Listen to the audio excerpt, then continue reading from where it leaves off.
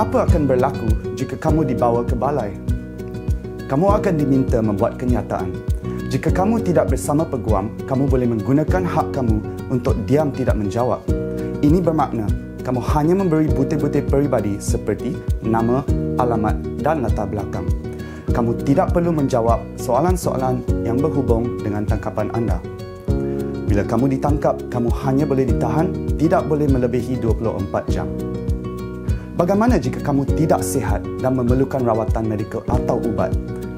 Jika kamu tidak sihat dan memerlukan ubat, kamu perlu memaklumkan kepada polis bahawa kamu tidak sihat dan kamu wajib diberikan rawatan serta merta.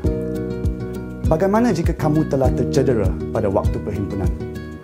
Jika kamu tercedera dan memerlukan rawatan, kamu ada hak untuk meminta ubat atau mendapat rawatan secepat mungkin. Bagaimana kalau kamu dinafikan rawatan? Kamu perlu membuat laporan polis secepat mungkin dan simpan laporan tersebut.